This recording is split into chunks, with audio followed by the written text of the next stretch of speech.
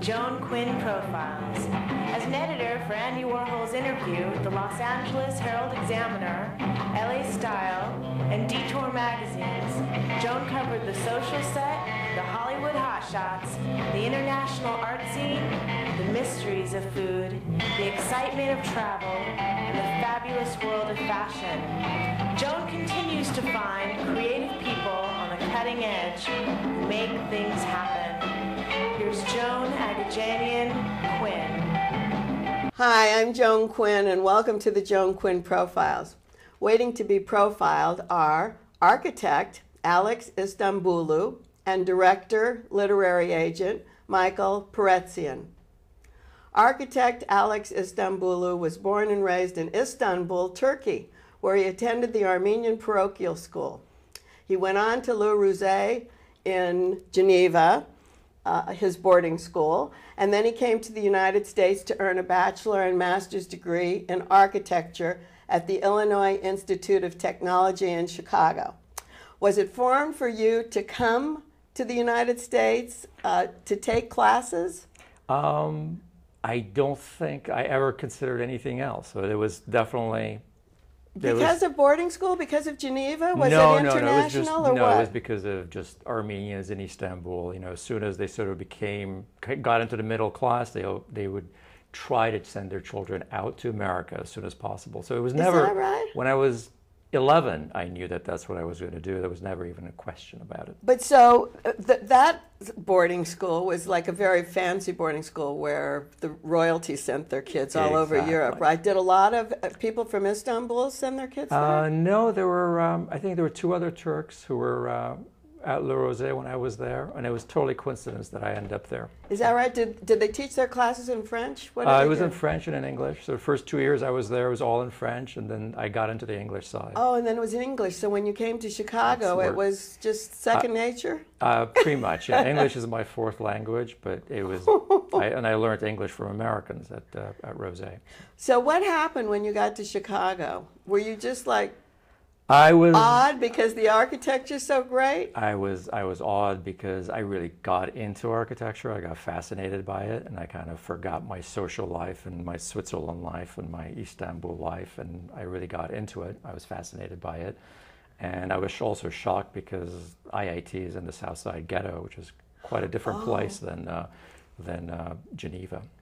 Uh, so you were, li- but but it's changing now, isn't it? It that is area much- changed the, a the lot. area has changed a lot. You're absolutely right. It's changed, it's changed quite a bit. But I arrived in Chicago literally the week after the 1968 convention, right after Mayor Daley had uh, Oh. beaten up the journalists. The city was on fire, and there was lots of uh, just there was a lot of. It was so where did you time. live? You lived on campus. I lived on Oh, campus. It was. did you leave campus? I, did- I left campus as often as I could, but I didn't have a car, so uh, and I didn't Oh. even know how to drive because I was sort of a relatively innocent European at the time. Oh, that's But there were. I remember within the first few weeks I was there, the the townhouses outside. The, uh, there was an eight foot chain link fence around the school, and there- were all these you know kind of racist white guys on our side of the fence yelling "Burn, baby, burn!" Oh, no. On the other side of the ha- of the fence were um, were houses burning down. oh my gosh. It was awful. So, well, they didn't burn any of the good architecture. No, they did. Yeah, the so architecture in Chicago stayed. was fantastic. And It's and is that why you chose the institute to go to school Yes. because of the architecture? because of the architecture. And then, as you became an architect, or after you got out of school, um, did you stay there to be influenced by what was there? I was. I was sort of pulled into SOM with uh, from by one of my faculty members. Basically, I did my thesis there. I worked at the Art Institute for Oh. Did you? seven years while I was going to school. So, did you want to be an artist? Uh, no, never. I always wanted to be an architect, Oh, because but I was very much. I was very. no, I'm not. I, uh, I I was very much influenced by uh, this man Jim Speyer, who was a, who was an architect by training, but he was uh, the curator of 20th century art at the Art Institute. I worked for him for seven years. Oh, and you also, did. So you were with a lot of contemporary artists. I mean, Yeah. you had the the um, Yeah. uh, interchange with artists who were of your period. Absolutely. For for, Oh. for seven years, I, I helped Speyer do the exhibitions at the Art Institute, all the contemporary art Oh, you exhibitions. did. Were you hanging? I was hanging stuff. I was doing exhibits for seven years. So that was kind of architectural, wasn't it? It Because was they because you got to see the stuff being made right away. You, you made, made the models, you did the drawings, and then it got built. But they like to have architects do the installations, don't they? There's a little separate bent about that. Um, our, the Art Institute, that was not a problem because they chose a curator who was an architect by training. So he sort of got to do it. I didn't, I, you know, Chicago was, was very, very different than LA that way. I don't, think. Than LA, yeah, but here you were coming from Turkey and Switzerland. Was that an influence as you started working in an, with uh, an architecture office? Um, I can't, not that early on. No, I think It that the sort of wasn't. no, the sort of the Turkish European influences really came came on as I opened my office and started trying to have my own my. And own practice. And when did that happen? When did you op- open? When I was about 36, I moved to Los Angeles. I kind of, uh, in, in some ways, exiled myself from Chicago. I felt like I had learned a lot in Chicago, but I needed to find my own voice. And there was an opportunity for me to move to Los Angeles. So did I you did. go with the firm? No, uh, actually, I did. Yeah, they were. Yeah, I was going to ask you, who they- did you work with before you got your own uh, with Skidmore, Owings and Merrill. Oh, you did? And um, I was kind of on a partnership track in the Chicago office. Oh, you I- started at I started- SOM there, I see. I was pulled into there by another mentor of mine, Myron Goldsmith, who was a wonderful architect. Ah. And he was a partner there, and he pulled me in. I spent a couple of years there, and as soon as they opened the Los Angeles office, I thought that was my opening. Oh. And, I, And that was on the west side, wasn't it? yeah, it Yes, was I uh, a couple of different places Uh-huh. that moved, moved around. Oh, that's fantastic. So now you have a, a large firm on I have the a west firm of my own. It's Santa Monica? In Santa Monica, and I've been there. Uh, the firm has been up for 22 years now. Wow. So, um, So tell me, when you go to find an architect to come and work for you, what do you look for? in terms of young architects who are Yes, working, or any architect who comes to work for you. I'm, I always look for somebody who's, uh, who has, who's, has kind of keen intelligence and is um, creative, but for me, they have to be organized. And Oh, is that it? They need to be organized because I'm not that organized. So the people who are working with me, are, you know, the ones I really get along with are, have to be organized and responsible. How can you tell if they're creative? Do they come right out of um, architecture school to you? They, uh, usually, I, it, it usually doesn't work if they're coming right out of school. I Oh, think I there's some people who are in school who, as interns who work for me. Oh, is and that- has worked out really well. But it's usually best if they've gone off and worked somewhere else for four oh, or five years. you'd rather years. have them It come in seasoned. It, it, it, it actually, there's just so much to learn, especially at the early age, uh, early Oh. period. And my firm is very small, so it makes it very difficult for us to train people early on. Do you uh, work with a certain uh, architecture school? Um, Like no. to have interns come in? No, I've had people from SCI-Arc. I've had people from Woodbury. I've had lots of people from. I've, right now, I have somebody from uh, Carnegie. I have a, Oh, a German woman who's you know studied in Germany, and uh, this uh, other uh, gentleman who studied in San Francisco Institute of Art. So Oh, so I've got there's a whole variety of, of people. And everyone does something different. Um, everybody has a specialty. Everybody has their what it specialty. It's not that they so much that they do something different. They kind of all do the same. They're all project managers and project architects. But um, you know, I have one person who's um, kind of able to do the, the bigger commercial projects. I have another Oh. person who's much more adept at the housing stuff. uh, which you do a lot of. I'm doing a lot of housing. Well, you've done projects all over the world. I noticed Japan, Turkey, Kenya, all over the United States. I have. And and how is it to work in those different places? It's the creative process, Joan. It's Does it all the same. It really doesn't matter. It's the it's the client. I mean, Japan. It's, it was Japan was a competition, and it was a wonderful competition. It was one of these things that I wanted to learn a lot from. It was a housing competition, and I got to play out some of the ideas that Corbu had started in the 1920s, and and it was. And I got an award for it, and I learned. There's stuff that I learned during that competition. I'm still using today, and the project that you saw the, a couple of weeks Yes, ago Yes, in West Hollywood. in. West Hollywood, the Sweetser project is very much kind of a child of that that whole. well, you just sequence of work. Mm-hmm. mentioned Corbusier. That uh, was he one of your influences? Absolutely. He was I, when I was actually at uh, in boarding school at Rosey. A friend of mine had gotten me a book. This dear dear friend Peter Riva, who lived in London. He brought me back a book on Corbusier, and I ended up doing my final paper, my English thesis. On uh, boarding school and high school on uh, Corbusier, so I remember the stuff that I read and I was looking at at the time. Had he done that house in India yes, at- by that time? Because Yeah. we stayed in that house in Ahmedabad. Now there is a lucky, lucky I know, lady. isn't that fantastic? that is fantastic. but it's the same kind of thing, an architect working all over the world. I would love to talk to you about that house. See how well it worked. It worked, it was very natural interesting. ventilation and Uh-huh. And then uh, there was a, a, a slide that came Right. into the pool in the back. It was very interesting. Uh, but one of the things uh, in the U.S. that you talked about, that you've just finished, is this underpass, overpass in Arizona. in Tucson. Yes. And I saw the photographs of that, and it's so transparent that it's just wonderful. It's great that you would say that. It was um, there was a it was a project that was almost bid. It was not what I did, but engineers had actually done these drawings, two and a half inch thick set of drawings. By the time I got involved with it, and they were actually going to do another underpass somewhere else, it was very complicated, and we were able to sort of convince them to expand the one that they already had, but make it wider so that it was much more open. And we created this connection and pedestrian bridge. And we saved the city a lot of money, created extra land, developable land, and it's just open in August, and everybody's really happy Well, that's what you have to do. That's what you have to look for instead of knocking something down or moving a it. It whole was a much more sus- it was a much more sustainable project. That's we saved yards and yards of earth moving, and it's a lot less road construction, a lot more landscaping, and much more developable land. Which is what we should be talking about. And let's talk about the Sweetser project because it's a, you hold it. and explain, it's a maisonette. there, there are. What's a maisonette? What's a amazing? Tell us what this is is. actually a Corbu term. Uh, Oh, it is? It is. He actually, it was actually what he was doing was uh, uh, using it as a way to uh, densely occupy agricultural land with a lot of housing to kind of.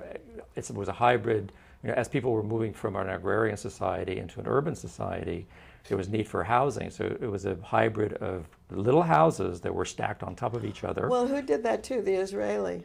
Uh, Moshe Safdie Yeah, did, a, Safdie did, a- did a version of that. Yes, in Is- Montreal. But he was he influenced by Oh, the same absolutely. I'm sure he was influenced by, by, by, yeah, no, that, definitely. And this was sort of in the 80s, 70s, Yeah, 80s. He, did, he did that stuff. This is a, you know, kind of a different version of Corbu's in that they're two-story.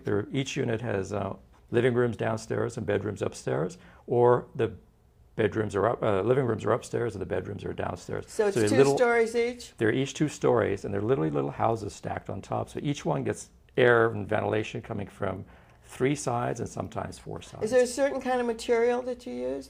Um, all of these have to be very cost effective in order for them to really work. So I used the most ordinary materials I can find. Is that right? yeah, and I just And the spaces. It works. I think that the more important thing is that I have operable windows, so there's natural ventilation. When you do something like this, you always, uh, in your bio, it says you, you think about art as far as incorporating things. How do you incorporate art in something like this? It's it's focusing on the livability of each unit. So I never let go of a unit unless I have several ways of laying out furniture in it. So Oh, you do? when when you lay out the furniture, you know where your TV is going to go, and you know where you're going to hang the art, or at least you have an opportunity to do that. But you don't hang art in there because there's too many different tastes, right? well, no, they're they're But you empty know it's units. for their- But I know I if I if I can walk through the unit and I hang see. my art and use it and have my speakers in the right place, then I've finished designing the unit. If Oh, I I if I see. if I haven't thought it through to that level, then I haven't completed my task. So that's the livability part of it, right? You've yeah. done everything else. What about the gardens? There's little gardens around these. It's a fantastic building. What is it, 1,200 Sweetser? It's 1,200 Sweetser, and the units on the lower level have their gardens immediately outside of them. Uh-huh. And the units, there are five of them, so around around the project. And then there are five, which we call the sort of the sky units or the penthouse units. They have the their gardens on the roof. oh, they have them on the roof. So they're, they're, every unit has gardens. Some of them on the roof, and some of them on the ground level. Did the you- bedrooms are in the middle. When you built this, because it's quite a large project, did you go to the city? Did you work with the neighbors, which We you had- have to do? We did. We had to work with the neighbor, neighbors and the city. And West Hollywood was very friendly. I think there's a lot of controversy about it now because the project is done and nobody likes a brand new building. But um, the approvals were very easy. We went through, we, we, and I enjoy the approval process. It's- Is it's kind of like um, outdoor sculpture. You have to make it friendly to your neighbors, otherwise they don't want it there. You, you do, and this is part of the reason why the massing is so broken up. So this, you know, this is a relatively large building. Uh-huh. Like little houses. It exactly. It's built and It's broken up into three pieces, and then vertically, just like Sullivan and other Chicago architects. It's broken up into a bottom, a middle, and a top. So there we have you, back It's- to Chicago and those great you can't architects get, You can't there. get Chicago out of me. Before we leave, do you collect art? Absolutely. As much as I can, California, who's your Um, California, I have a Chuck Arnoldi, and we have a Laddie Dill, and we have I have Jasper Johns from many, many, many years ago. Um, all our favorites? yeah. All our favorites, and we're glad We that you've become part of our favorite too. Thanks, Aleks. Thank you very much, Joe. And don't go away. We'll be right back with Michael Peretzian.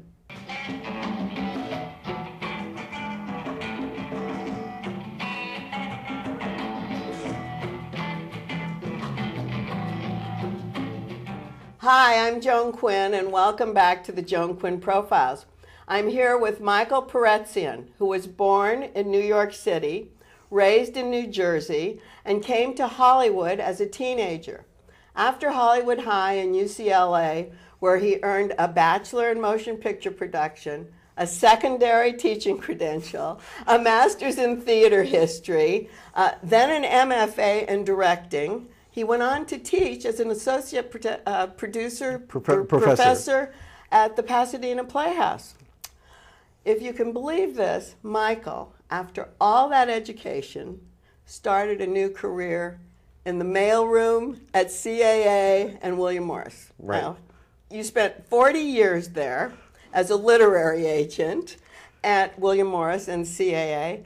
And what were you going to talk about? What were you doing this motion picture work and all this uh, secret desire to, to direct? How, where was it all? Well, I because I was trained in the theater, uh, uh, that's what I thought I was going to do until I saw certain films of that time by Ingmar Bergman and Antonioni and Fellini, and I thought, oh, how powerful, how exciting. Maybe that's what I should do to use my skills in the motion picture business. And it turned out that um, uh, I was in the mailroom of William Morris and, and saw a lot of uh, uh, a lot of other trainees who wanted to represent actors, but I wanted to represent writers because I Oh, was that the desire? that was That's the where it came. I see. and that uh, I started that, and seeing at that time Steve McQueen in the hallway was uh, something that wasn't really that impressive because he's short, I thought. And, you know, movie stars are usually shorter than you think they are. But so we were talking about that today. but one day, uh, uh, a check came to the agency for Steve McQueen, and it represented his second year's profits from the movie Bullitt. And they Which said, and film. you, great film, but that check you should have gone to his accountant, and then the accountant paid the commission to the agency. So they asked me to walk this check 10 blocks down Wilshire Boulevard in Beverly Hills to his accountant. Well, I got one block and I had to look in that envelope and saw that it was a check for over $1 million. And here it was in my breast pocket. And I was walking down Wilshire Boulevard in Beverly Hills with a million dollars in my pocket. And then the penny dropped. I, oh, this is what it's about. It's not seeing Steve McQueen in the hallway. It was the potential that your work uh, could really generate that kind of income. So I thought, well, then that's my career. so were you in the mailroom when you did this? Yes, I was in the mailroom. I mean, did you were young. Well, no, this was your second time, yeah, right? yeah, yeah, you weren't a exactly. teenager, but No, no, but you know where I was uh, substitute teaching at Beverly Hills High School, Ah. I found myself now in night school taking speed writing classes and learning how to type so that I could become what they call as an assistant, but it's really a secretary to an agent where you learn the craft, you learn the business by. So you just learn from the mailroom to the secretarial to being like top of the ladder uh, literary agent. yeah, thank you. Well, well, you were. Well- you were there for a long time, yes, I was. and and Something how happened. did you choose yeah. to be a literary agent? And what does a literary agent do? Well, I think uh, my liberal arts education at UCLA, I really took to heart. So when I read a piece of material that was really literary uh, and, and excellent, and I just had my passion for those people who could write like that became so intense that I was able to sell them out of my own passion for the fact that their talent was there, and, and it served me very well. But um, did you know those people? Were they personal friends? No, No, they they're- weren't. no, and usually it came through referral and so, oh gosh, Michael Peretzian, I have someone's really good and you should know about it. And that's how I developed this cachet for a lot of the, the excellent writers. And, and because a lot of them were playwrights, because my background was a theater, I was gonna ask you, yeah. I was able to really uh, uh, use that as well. I was going to ask you about that because you wanted, uh, you were working with motion picture people. Yes. And then you were working with theater people. So what you were doing, your clients broke down into film, uh, Broadway, books. Did you do uh, like authors other than books? No, I don't really, know. really, what I, I tried to do is try to match books with some of my writers, and that we could set up and uh, in a development deal at a studio. That's primarily what I did, and I represent the film and television side of their careers, not the play side. That was done by other agents. But when they had a playwright like Beth Henley or Mark Medoff who really wanted to do film, I was the guy that was going to try to move their career in that direction. So, like Terrence McNally that you talked talked about, or Beth, Yeah. when they did something on Broadway, then you brought it to the theater or to the Exactly. movies. Yeah, so I was involved I with, see, like, I for see. instance, Crimes of the Heart. When that was done, I was able. Part, part of that was to make a deal for Beth Henley to sell those rights as well as do the screenplay. Oh. I see. And then um, with books like Christopher Ham- Hampton Okay. and I don't know who else. Christopher Hampton uh, was an agent who uh, was a writer whose agent had died, and I was asked to come into his life, and um, it was after uh, Les Liaisons Dangereuses, Oh, uh, yeah. for which he won the Academy Award, and um, so it wasn't so much uh, getting books sold as much as was getting Christopher Hampton the job to adapt the book. That's, I see. that's so that that's how what the the literary agent does. Exactly. Because it's hard to def- dis- decipher Yeah. what the jobs are. That's right. There's a literary agent in New York that is a book agent, and then they call them literary agents here in Hollywood, and they are really uh, agents who represent writers uh, who either sell original screenplays or their services to adapt a book into film. See, that's the difference. I mean, that's that's a, a kind of a mix-up thing for me. What about Anthony uh, Anthony Minghella, God bless him. I, I saw uh, his film uh, Truly, Madly, Deeply, and uh, became his agent off of that. And and was from that that we developed a very strong and personal relationship. Um, uh, But for the film, all for films, we're talking about That's what right. you did. that's right. That's he right. did a lot of films. He did a lot of film, and uh, he won the Academy Award for directing The English Patient, and uh, certainly had the respect of a, so many people working in the business because he was one of those people that prove that quality and commerce are not mutually exclusive concepts. Yes, because you don't. You think if you're going to see something commercial, it's going to be not very good. Exactly. And when he did the, the uh, Talented Mr. Ripley, and at the opening night party, there are a lot of people, a lot of d- directors in Hollywood who came up to him and said, How did you do this? How did you get Paramount to make a film where the murderer gets away at the away. end? How did you do that? You know, But that's not an easy feat. But they didn't see that it was great writing. Right, right, exactly. Well, I think they, you know, the commercial aspects of it are, are were something they always had in doubt because a murderer gets away. That's that's hard to sell in Hollywood. The other, the other thing that when I looked over what you had done and all this, th- these people that you had worked with in film, but in the beginning we said you did teach as a professor at Pasadena Playhouse, that's right. and that's just solely stage work, isn't it? Right. So it was courses in acting, uh, course in the history of the background to the history of theater, which was like Western Civ, as well as play analysis. That's where I developed that Oh, that- that skill to know how to what the structure is of dramatic writing. And then um, y- you had all these clients. Yeah. You were moonlighting as a director. Well, I, yes, I was. How can you moonlight as a director Well- when you know you have to rehearse during the day, don't you? Well, this is what happened. I, uh, at one point, things were going so well. I mean, I was I had an apartment in the Hollywood Hills. I had a black t- Porsche Targa in my garage. I mean, things are looking well, except that one Saturday morning I woke up and felt dead. I felt something is wrong, and I did an inventory of my life and remembered when did you feel if you did this without any money considerations, you'd be happy? And it was directing for the theater. So I started uh, directing at night. I would leave the office. No one knew this was happening. That's what I wondered. How does a And I- person moonlight when well- they've got in the- this big office? Well, it's called 7 to 11, Monday through Friday, and all day Saturday and all day Sunday. but that's okay, isn't it, if you're working and doing something you It like? worked, it worked well. And I, I think that's the lesson Oh, for. so you would leave the office and you And- had your rehearsals at night then instead of during the day? and it was a big, do? it was a big secret until the reviews came out in the trades and in the LA Times, and the agency wasn't so happy about that. Like, why are you doing this? You know. But you did make a name for yourself in the directing field, and I think one of the things that really came to light was Red Dog Howls. I think I don't know. I'd seen your name before, known your name, but I think that brought it up.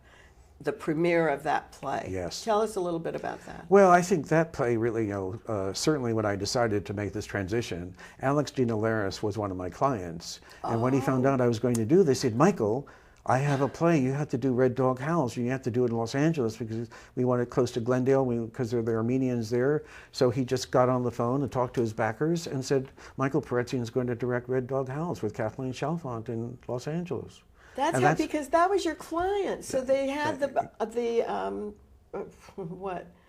They knew that you could do it. They had, They had- faith in you. They did because of the way I talked about their material. Yes, I talked to them to, to their to to them about their scripts as a director might. So they knew oh, this guy You were asking the right questions. exactly exactly. And you cared about it. And I cared about it because my parents both survived the Armenian genocide. None of our families ever t- are in Los Angeles. My grandparents were here too, but it, they didn't go through that. But they never talked about Exactly. the past. But, but in the in the play, there's one character who knows something is missing, something is different, and he discovers it. And that play spoke so much to me because it was, and it, it just showed, put a light on those things that my Armenian parents Oh, never Oh, so that's- wanted to talk about. Well, it was a great success, and I saw it, and I thought it was brilliant. And I didn't know you at the time, but now, before we leave, I know Right. you're you're directing a Harold Pinter play, Right. No Man's Land, and I think we want to talk about that. Yeah, of course, yes. So tell us a little this, bit about that. this that. play has haunted me for decades. I first saw it in 1976 with Ralph Richardson and John Gielgud uh, doing it on Broadway. Oh, wow. And then uh, later on, like 15 years later, I saw a production directed by an, a client of mine, David Leveaux, in England at the Almeida Theater with Harold Pinter playing the part of Hirst in the cast. Oh, he wrote it and played him and played in his play. So this play has been hovering over me, and it, of course, it's trying to figure it out. This play, it's very mysterious because what the play is about is not what the actors are talking about. So it's all about what is not said. Oh, right. And um, it's been quite a difficult process, but intriguing one in terms of trying to figure it out. And Is I it s- directed differently each time it's directed? yeah, I think it has Mm. been, you know. And each time it's kind of like when I saw it originally, I was trying to figure it out. I just knew, gosh, I don't know what this play's about, but it just moved me so Mm. in some way below the neck. And then when I saw Harold Pinter do it again, I was asking these same questions, but I was 15 years older. There were different questions. Ah. And then I realized maybe the play is about, since it's so as, as, as existential, uh, and he was influenced by Samuel Beckett, maybe we're all kind of in our own no man's land that between birth and death, we are stuck uh, in a world that's icy and silent in space, trying to figure it out. Whether it's religion or tradition or something, why are we here and who put us here and what are we supposed to be doing? Yeah, and so that's the what he reflects in his writing, For and me. that's what you have to bring out in your characters. Did you cast it? Yes, uh, with Alan Mandell and Larry Pressman and two young actors, John Sloan and Jamie Donovan. And they have. Did, did they ha- see eye to eye with you? Well, we did. We there were lots of times where rehearsal was discussing what are we doing here and what you know what on that level what are we what is our objectives and what are we trying to accomplish and then the the metaphysical aspects will become apparent but not you can't play that but What are we doing Yes, here? exactly. That's what Mitch Albom in his new book was talking about. You know, we're all here and we all have the same thing. And what are our beliefs? and that's all we can take with us. That's right. Exactly. Exactly. So it's kind of uh, metaphysical. I mean, what do we have? He said the person opened his hand, and this is all he has when he dies. yes. Exactly. So I think what you're saying is really eerie, but it's true, isn't Well, it? it It's something we have to address. Well, you've been like a pop star, Michael. You've just reinvented yourself, and you keep reinventing yourself over and over, don't you? well, we're trying. Where we're do we go next? uh, thank you for, for, for saying that. I, No, I, but um, you are. And I think the LA Drama Critics gave you a Best Director award for A Life, A Life. yes. And did that have anything, was it anything like this Pinter play? Know, a life was again all of these plays that move me and the plays I want to direct are ones of what how should we live? What is important? What is really important? Minghella's radio play may be something I may want to do called Cigarettes and Chocolate. And it uh-huh. sort of ends what is really important? And I think any great work of art, whether it's visual or theater or music, when a great work of art is effective, it stops you from your life to really think about that moment. And when you come off that moment, it may, may make some changes about attitudes, if not actions, about how you should live. And that's how you want your audience to go away that's with it. that moment. And a life has had that. That's why I loved that play so Yeah. much. well, I thank you for coming today. Thank you, Joan. This has been great. I- I've had so much fun with it today. Thank you very much, Well, Michael. And keep writing. Uh, my email's the best, jaquinn1 at AOL. J A Q U I N N 1 at AOL.com. And 777 South Figueroa, 44th floor, Los Angeles 90017. And we'll see you next time on the Joan Quinn Profiles.